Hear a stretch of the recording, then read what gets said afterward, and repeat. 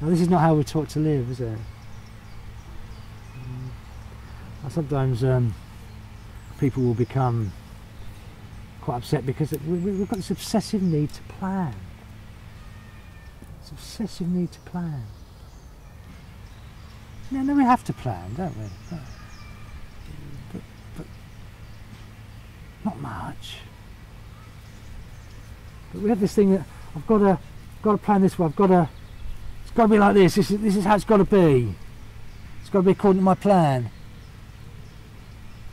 And of course, it's not like the plan, is it? And then we're stressed and upset and agitated because well, it's not going according to plan. Well, of course, it isn't. If the world is not going according to your plan, then you've got two choices, haven't you? You could change the world, or you can alter your plan.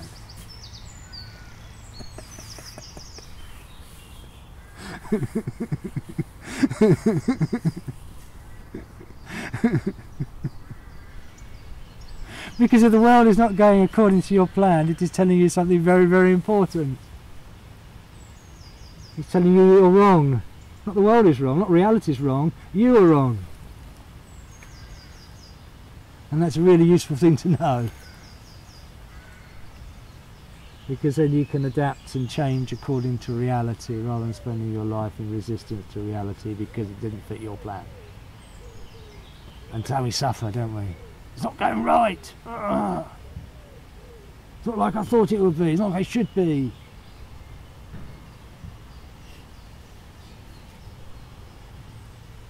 Somebody asked my nine-year-old son the other day, he said, what would you like to be when you grow up? I said, don't be so silly, it hasn't been invented yet.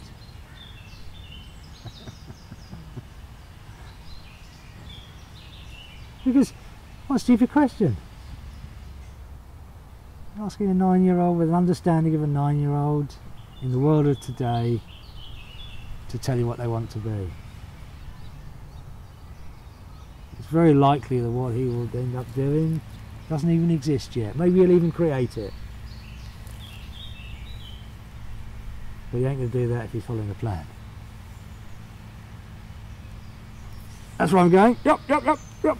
That's it. Now I'm going to take my eye, but focused. I'm going for that plan. Yes. Five years' time, that's where I'm going to be. Yep. And I'm going to rule out all these other possibilities that weren't part of the plan. I've got seven children, that was never my plan. but would I swap it for anything? Whoa, that's so much better than my plan. My plan was rubbish. So much better than my plan.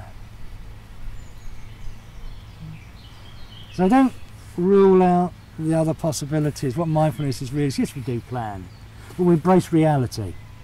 Yeah, because there are so many possibilities here in the moment that are outside of our plan.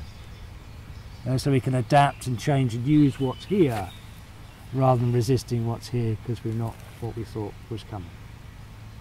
Yeah, I did a little bit of planning for this weekend. Actually, we didn't plan to sit in the woods until this morning. Should we have gone over there because it wasn't part of the plan? Uh, the weather in April presented with an opportunity you could never plan for. So we use it. Do you see that's the art of mindfulness? It's, it's kind of flowing with reality and having very little to do with unreality. You're getting the idea?